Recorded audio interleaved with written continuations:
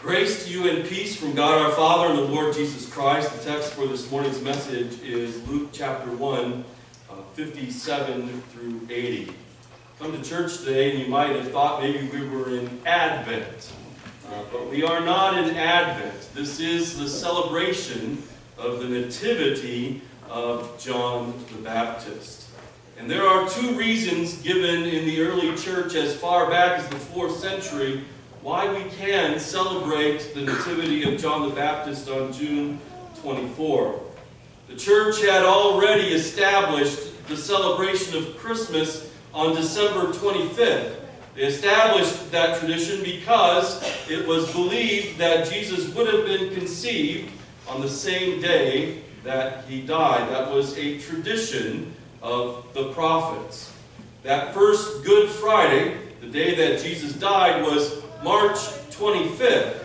And so nine months later is December 25th. In Luke 1, we know that the angel Gabriel appeared to Mary in the sixth month of Elizabeth's pregnancy. The conception of Jesus is presumed to have corresponded with that visitation. So John would have been born six months before Jesus. Also, John spoke as recorded in John chapter 3 verse 30. He must increase, but I must decrease. And it is in this time of year, in the year in the time of year when we celebrate the nativity of John that the days have started to decrease in length. And it is in the time of the year of the celebration of Jesus' birth the days have started to increase. So there is quite a bit of symbolism that is built into the, the celebration of even the Nativity of John the Baptist. These are good reasons why we can celebrate this feast day.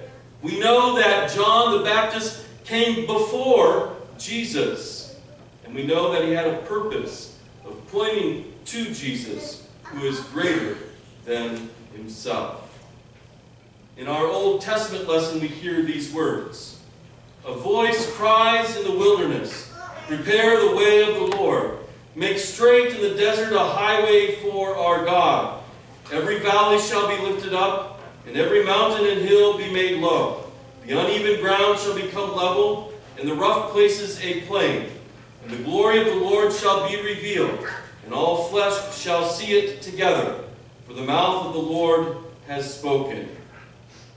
Isaiah spoke this prophecy when the people of Israel were experiencing their Babylonian captivity, and they were on the verge of getting out of that captivity.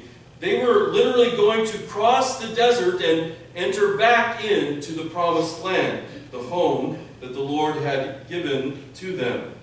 Before that happened, the way would have to be prepared, and the path to the promised land made straight and level. This foreshadows the ministry of John the Baptist. And in this event, Isaiah prophesies regarding the purpose of John the Baptist. John the Baptist is given by God to prepare the people of Jesus' day for the preaching and teaching and the dying and being buried and rising again that Jesus would say and do. Ultimately, Jesus would lead these people to the kingdom of God but it would be on a road that is made straight. It would be on a road that is made straight through repentance and forgiveness. For this is the only way to the real promised land. Outside our building today, there is a road, kind of. It is an impassable road but the construction crews are working to smooth it out and make it passable. Until their work is done, the road is full of low places and high places. It has rocks and mud and water. And until the road is fixed, the cars won't pass. Until the road is fixed, it cannot be used as a passageway to get to where you want to go. In the Bible, we often see the image or idiom of mountains and valleys and crooked paths littered with stones and rocks.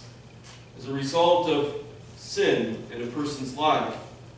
Before the Lord leads us home, he must, like those construction workers, deal with the sin that creates the ruggedness and obstacles to the Lord's leadership in your life and mine.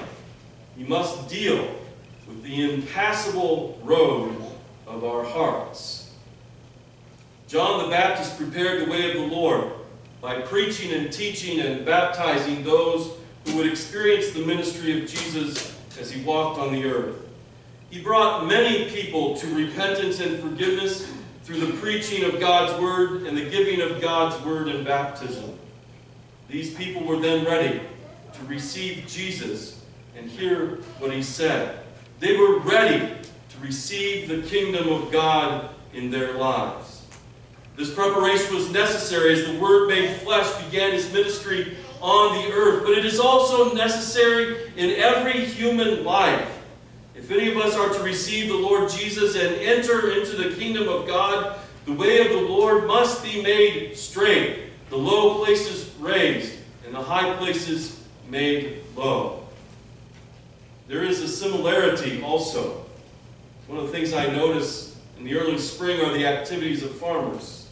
Farmers have a responsibility to care for the land, and they in fact are the ones who are most concerned about the health of the land. Without the land, there is no crop. And so farmers test the soil to find out what it needs. They spread the right kind of fertilizer with the correct nutrients. They till the land so that the ground will receive the seed. And I'm sure that there's much more that I don't see that a farmer does to make the land suitable to receive the seed. It's hard work, it's hard preparation, but it is necessary preparation in order to produce the crop. This is what the Lord does. He does this to you and to me in our hearts. He prepares the way, He cultivates the heart of every human who will come to Him. If it is to produce the fruit that the Lord intends, the heart must be prepared. So God's word goes out to a heart that is secure in its sin, to a heart that says, I'm not a sinner, to a heart that cannot recognize sin for what it is. God's word goes out to convict and break down that heart. It is an arrogant and ignorant heart. It is a heart that is not ready to produce fruit. An arrogant, ignorant heart must be humbled and the Lord will accomplish that task with His very word. He will make the low places higher and the high places lower. God's word also goes out to a heart in turmoil. It goes out to a heart that is mired in guilt, and it tells that heart that their sins are forgiven. The word brings relief that says the guilt price has been paid. And this word is for the one who believes that he or she is in a hopeless situation and cannot help himself. God comes and gives that heart the very help it needs. It's the help, the forgiveness of sins. Without this help, without this transformation, the road into the kingdom of God is crooked and rough. But with the preparation of God's word, that heart is prepared to produce fruit that God intends to live in the kingdom of God. There's a story that I, I, enjoy. In fact, I probably have used this before. But I'm going to use it again because it applies very well to today's text. It comes from a book called The Hammer of God. And in this book, there are three stories. And in one of those stories, there's a young pastor, Fridfeldt, who is talking to an older, more experienced pastor.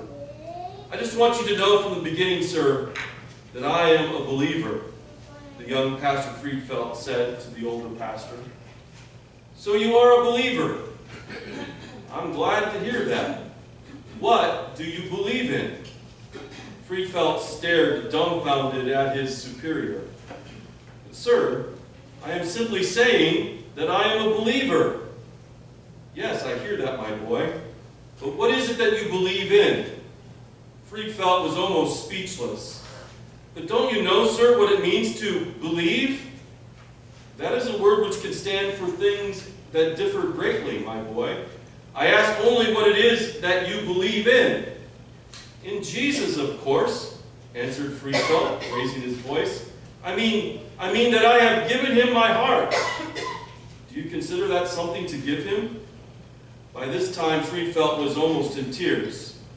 But, sir, you do not give your heart to Jesus, you cannot be saved. You are right, my boy.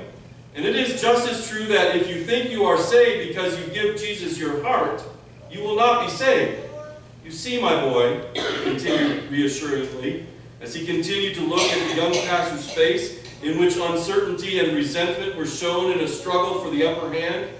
It is one thing to choose Jesus as one's Lord and Savior, to give him one's heart and commit oneself to him, and that he now accepts one into this his little flock. It is a very different thing to believe in him as the Redeemer of sinners, of whom one is chief. One does not choose a Redeemer for oneself, you understand, nor give one's heart to him.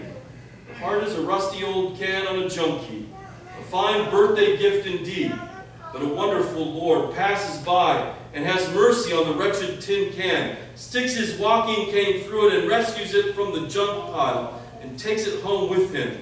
That is how it is. This is the condition of the unprepared human heart. This is the condition of your heart and mind. You need the Word of God spoken for you in the right way at the right time. And when God's Word comes, your heart is changed and transformed. When God's Word comes and changes your heart, then the Lord does come to dwell in your life. This activity of the Lord, this preparing, is something that goes on daily for all of us. We need God's Word to change our hearts daily. Things happen in this life. Sometimes we need to be broken down and brought low because we think too highly of ourselves. Sometimes we need to be lifted up with a word of forgiveness because we know the hurts and the challenges of our sins. And all of this is God's work in your life today to bring you into everlasting life.